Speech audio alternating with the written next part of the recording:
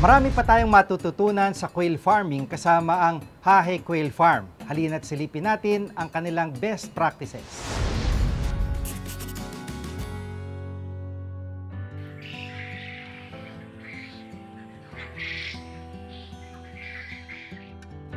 For quail farming, given limited reference materials, it takes time to perfect before we finally establish our management techniques.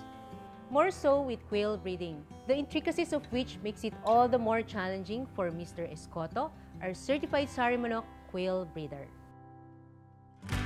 Sa pagsisimula naman kasi, mainly suggested is may small volume lang. So may mga sources naman from mga nag-aalaga, bibigyan ka ng idea ng kung paano pag-aalaga ng siso. At first, sabihin na natin, medyo mahirap kapag yung day old kasi maliit lang siya. Pero kapag, kapag nasanay na yung kung paano mo siya alag- alagaan, so madali na lang later on. So may mga kamag-anak kasi ako talaga na walang trabaho. So kaya naisipan ko tong fail nung nag-search ako, medyo maganda yung mga feedback. Nagkuha ka ng fully uh, information about kale. So nag-umpisa ako ng last 2014. So nag-start lang ako backyard. So may maliit kami na uh, lupa noon. Then eventually, nag-evolve siya, nag-expand-expand siya. Until such time, after a year, nakalipat ako dito sa farm ko ngayon na medyo malaki na siya, na capacity na siya at least kahit mga hanggang mga 100,000 heads is kumbaga medyo secured na dito sa place na to. So dito sa JS Cotto Farm, nagbe-breed kami ng pugo.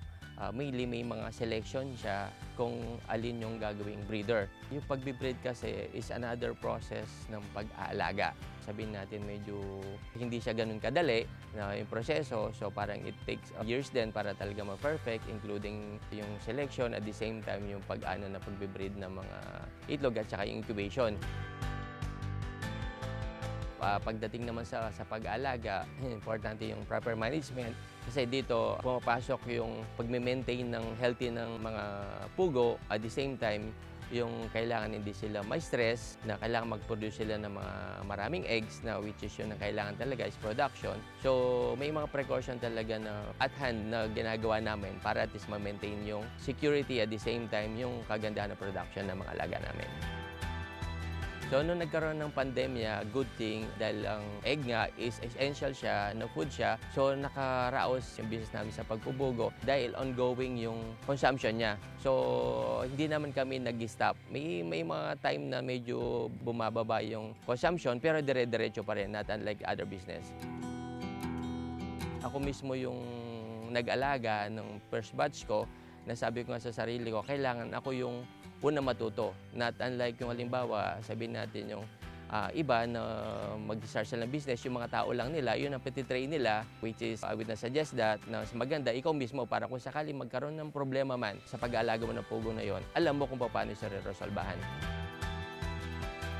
Dito sa JS Cotto Farm, nagpo-provide kami ng, ng seminars, even one-on-one orientation kung paano pag-alaga ng pugo, ginagawa namin dito. At with the help of Sari Manok na napumunta kami from other location, mainly dito sa North, kung paano yung proper way kung paano i-start ang business ng pagpupugo.